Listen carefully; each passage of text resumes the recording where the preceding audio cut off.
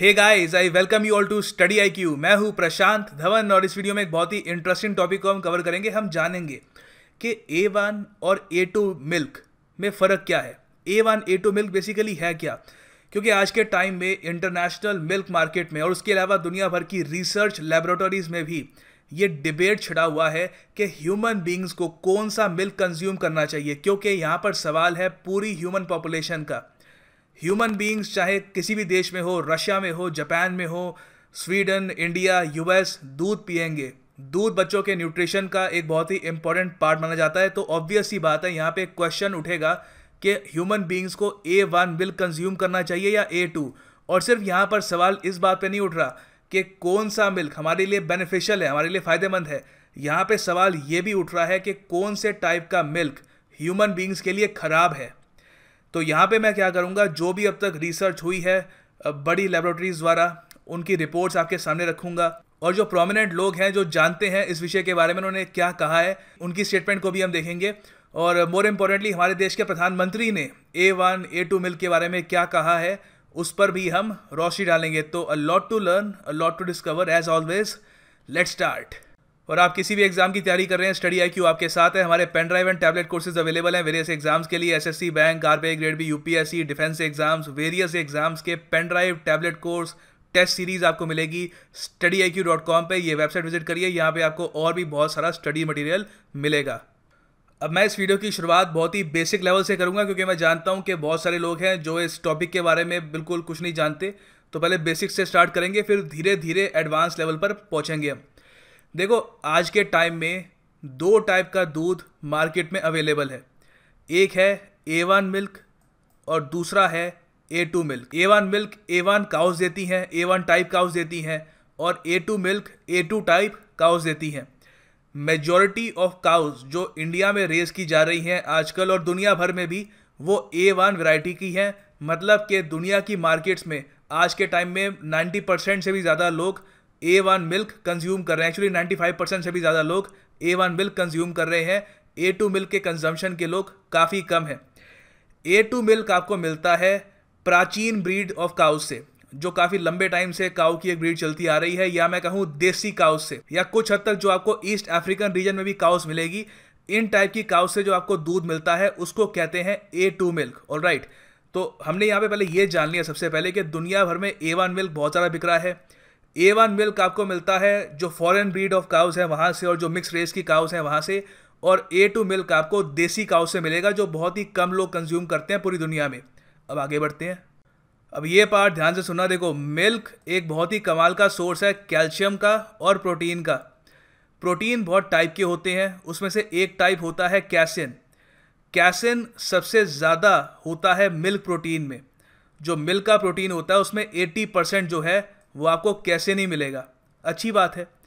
मगर यहाँ पे एक इंटरेस्टिंग बात ये आ जाती है कि जो ए टू काउज होती हैं, जो देसी काउज होती हैं, जो दूध वो देती हैं, उसमें क्या होता है कि जो कैसिन प्रोटीन होता है, उसके साथ साथ खास टाइप का अमीनो एसिड भी आता है, उसको हम कहते हैं प्रोलाइन अब देखो अमीनो एसिड अपने आप में काफ़ी इंपॉर्टेंट होते हैं। लोग आज के टाइम में अमीनो एसिड के सप्लीमेंट भी लेते हैं। मगर ये पर्टिकुलर अमीनो एसिड जो ए टू काउस में मिलता है, ये आगे जाकर एक बहुत ही इंपॉर्टेंट भूमिका निभाता है। अब देखो, मैंने आपको बताया, जो हमारी देसी काउस थी, जो हमारी प्राचीन ब्रीड चलती आ रही है काउस की, वो जो ए टू मिल्क प्रोड्यूस करती है, उसमें आपको प्रोलेन टाइप का अमीनो एसिड मिलेगा। फिर जो ए वन काउज हैं, जो आज के टाइम में इंडिया में भी डोमिनेट कर रही हैं, बाहर फॉरेन एरियाज़ में भी आपको वो दिखेंगी हर जगह। हाइब्रिड काउस कह लीजिए। वो जब ए वन मिल्क प्रोड्यूस करती हैं तो उसमें अमीनो एसिड डिफरेंट आता है।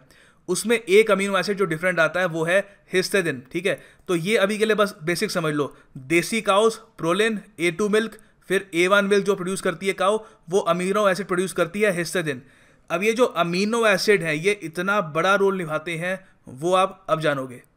तो देखो ए टू मिल्क में जो आपको प्रोनिल मिलता है, वो क्या करता है कि हमारी बॉडी में बी सी एम सेवन को पहुँचने से रोकता है। बी सी एम सेवन क्या है? ये बहुत इंपॉर्टेंट चीज़ है, देखो। बी सी एम सेवन एक ओपियोइड पेप्टाइड होता है। हम नहीं चाहते, बहुत सरल भाषा में बता रहा हूँ आपको, हम नहीं चाहते कि बी सी एम सेवन हमारी बॉडी में, हमारे डाइजेस्टिव सिस्टम में पहुँचे, ठीक है? क्योंकि जब ये पहुँचता है तो उससे इंडाइजेशन हो सकती है और बहुत सारी रिसर्चेज हमको ये भी बता रही है कि बी सी एम सेवन जब हमारी डाइजेस्टिव सिस्टम में पहुँचता है, पहले तो इंडाइजेशन करता है, उसके बाद और भी बहुत सारी प्रॉब्लम कर सकता है डायबिटीज़ बहुत सारी चीज़ें हो सकती है उससे, उसके बारे में भी हम जानेंगे। तो बेसिकली आप ये समझ लो, जो ए टू काउस है, उनमें प्रोलिन नाम का जो अमीनो एसिड है, वो हमारी बॉडी में बीसीएम के रिलीज़ को रोकता है। मगर जो ए वन काउस हैं, जो भी के लिए यूज़ की जा रही हैं, वहाँ पर क्या होता है कि सिंस वहाँ पे प्रोलिन नहीं है तो जो बी सी एम सेवन है, वो हमारे डाइजेस्टिव सिस्टम में रिलीज़ होता है और बाद में ब्लड में भी वो धीरे धीरे घुल जाता है, ठीक है? तो यहाँ पर अब क्वेश्चन ये आता है कि बी सी एम सेवन कितना डेंजरस है और इस पर कितनी रिसर्च हो चुकी है। आगे बढ़ने से पहले जो हमारे प्रधानमंत्री हैं, उनके एक स्पीच की एक लाइन आपको सुनाना चाहता हूँ, जहाँ पे वो ए टू मिल्क की बात कर रहे हैं। एक बार जरा आप वो देखिए, फिर हम वापस आते हैं। किया है? अब ए टू मिल्क जिस कांकरेज की गाय के दूध की एक विशेषताएँ हैं, विशेष तत्व है, उसको आज उन्होंने मार्केट में रखा है, जो हेल्थ कॉन्शियस लोग हैं, जहाँ बच्चों को कुपोषण की समस्या है। ऐसे बच्चों के लिए ए टू मिल्क कांकरेजी गाय का ए टू मिल्क उनके स्वास्थ्य के लिए उपकारक होने वाला है। ऐसा एक भगीरथ काम भी आज यहाँ शुरू हुआ अब वीडियो का ऑडियो वहाँ पे इतना बढ़िया था नहीं। आवाज़ मुझे पता नहीं कितनी क्लियर आ रही होगी आपको वहाँ पे। मगर इन नटशल मोदी जी वहाँ पर ए टू मिल्क की बात कर रहे थे और कह रहे थे कि ए टू मिल्क कितना इंपॉर्टेंट है उन बच्चों के लिए जो कुपोषण के शिकार हैं और कह रहे थे कि काफ़ी बेनिफिशियल है। और मोदी जी जो ये कह रहे थे, वो काफ़ी हद तक साइंटिफिक एविडेंस से बैक्ड भी है। काफ़ी सारी जो रिसर्चेज हुई हैं, वो ये बताती हैं कि ए टू मिल्क डाइजेशन में ज़्यादा आसान होता है। काफ़ी सारे लोगों को प्रॉब्लम होती है। वो खुद को कहते हैं, वो लैक्टोस इंटॉलरेंट है। आपने रिसेंटली ये टर्मोलॉजी सुनी होगी कि मैं लैक्टोस इंटॉलरेंट हूँ। मैं दूध पीता हूँ तो इंडाइजेशन हो जाती है। ऐसे काफ़ी लोग कहते हैं। वो ब्रेड भी नहीं खा पाते खास टाइप की। तो यहाँ पर यह देखा गया है काफ़ी सारी रिसर्चेज में कि जब वो ए टू मिल्क पीते हैं तो जो उनकी लैक्टोस इंटॉलरेंस है, वो काफ़ी हद तक घट जाती है। और उसके अलावा और भी काफ़ी सारे बेनिफिट्स हैं। अभी रिसर्च हो रही है इस पर। आ, कई रिसर्चेज ये भी कहती हैं कि ए टू मिल्क में आपको ओमेगा थ्री फैटी एसिड हल्के से ज़्यादा मिलेंगे मगर मार्जिनली बहुत ज़्यादा कम इतने नहीं है कि बहुत बड़ा आप पे इम्पैक्ट डालेंगे। मगर सिंस इंडिया एक आज भी आप कह सकते हैं काफ़ी सारे वेजिटेरियंस की कंट्री है तो ऐसी कंट्री में मिल्क न्यूट्रिशन का एक काफ़ी इंपॉर्टेंट सोर्स है। तो हमको पता होना चाहिए कि कौन सा मिल्क सबसे बढ़िया हमको यहाँ पर न्यूट्रिशनल बेनिफिट देगा। तो मोदी जी यहाँ पर ये कह रहे थे और उसके अलावा काफ़ी सारा साइंटिफिक एविडेंस भी ए टू मिल्क की जो न्यूट्रिशनल वैल्यू है, उस पर एम्फोसिस करता है, जो जो देसी काउ से आपको मिलेगा। अब ये तो ये बात होगी फिर दूसरा क्वेश्चन बहुत इंपॉर्टेंट क्वेश्चन ये आता है कि क्या A one milk human beings के लिए प्रॉब्लम क्रिएट कर सकता है? तो इस पर जो भी रिसर्च हुई है अभी के लिए, वो मैं आपके साथ शेयर करता हूँ। तो देखो ए वन मिल्क जो आज के टाइम में 90 परसेंट दुनिया जो पी रही है, उससे भी ज़्यादा लोग जो पी रहे हैं यहाँ पर जो बी सी एम सेवन इस मिल्क में आपको मिलेगा, उसे क्या इफ़ेक्ट होते हैं, उसके काफ़ी यहाँ पर रिपोर्ट्स हैं। एक मैं आपके सामने प्रेजेंट कर रहा हूँ। ये है US national library of medicine national institute of health द्वारा। काफ़ी इनकी एक फ़ेमस ये लेबोरेटरी है, इसकी एक फ़ेमस एक्रोनिम भी है एन सी बी आई आप इसको गूगल कर सकते हैं और दुनिया की काफ़ी बड़ी लेबोरेटरी मानी जाती है। तो यहाँ पे आप देख सकते हैं कि ये भी कह रहे हैं कि जो ए वन बेटा कैसिन वाला मिल्क है, जहाँ पे आपको बी सी एम सेवन मिलेगा काफ़ी सारा। वहाँ पर वो कह रहे हैं कि ऐसा मिल्क आप अगर बच्चों को देते हो तो वहाँ पर डायबिटीज़ की प्रॉब्लम बढ़ जाती है। तो इन्होंने ये जो रिसर्च है, रिसेंटली स्कैंडिनेविया और आइसलैंड में करी थी। स्कैंडिनेविया जो आपको पता है काफ़ी बड़ा रीजन है, नॉर्दर्न रीजन है अर्थ का। वहाँ पे नॉर्वे, स्वीडन और भी ये जो कंट्रीज़ हैं, आइसलैंड वगैरह ये सब आ जाती हैं। तो स्कैंडिनेवियन कंट्रीज़ में ये देखा गया था कि वहाँ के लोगों को डायबिटीज़ की प्रॉब्लम काफ़ी हो रही है। तो रिसर्च ये पता लगा कि कुछ हद तक जो वो डायबिटीज़ की प्रॉब्लम है, वो आप जो ए वन मिल्क है, उससे आप उसको कनेक्ट कर सकते हैं। ऑफकोर्स वहाँ पे लाइफ स्टाइल चॉइसेस ज़िंदगी बहुत आरामदायक है, वो सब तो अपनी जगह खड़ा ही है।